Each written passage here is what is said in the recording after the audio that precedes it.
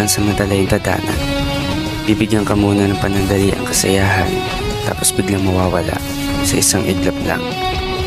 Tandaan, walang permanente sa mundo. Lahat ay panandalian lang. Kaya kung ikaw ay pipili, piliin mo na yung sasaya ka talaga.